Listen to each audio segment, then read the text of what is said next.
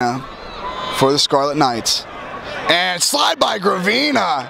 Oh, beautiful takedown. Just like Gravina. He is pressuring, pressuring, pressuring. And there's a single leg attempt by Baker. Uh, 49 seconds left, and he misses it. Holy cow. Don't go to the hip on a go behind, folks.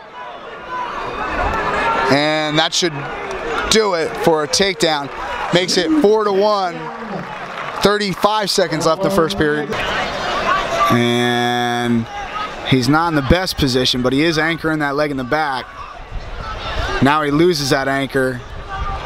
And he's under the right arm. And they're in a scramble, but this scramble doesn't really help Rutgers very much because the clock is winding down on them. So you hear Goody in the corner saying, get your one, get your one. I would agree.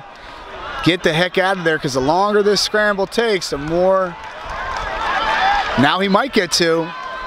And yep, that's takedown. Or excuse me, is going to continue that pressure. Eight to three so far. And quick go behind by Gravina off of a poor shot by Ian Baker. And he's under both arms. That should be two.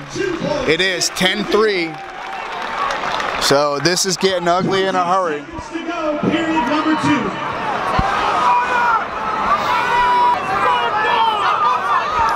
So 11-3. And pancake attempt, and he's getting swipes. He's out of bounds, but they can get a fall out. And that should be a six-point maneuver. I'm not sure I would have let him go there. Minute 12 left, and he makes me look foolish. He's looking for a fall, and he's gonna get it. That should do it, he's close. Plenty of time on the clock. Ian Baker's in trouble. And Gravina still has his hands locked, so the referee's gonna keep it going. Yeah, and he loses it. So that should do it. Tech fall for Nick Gravina.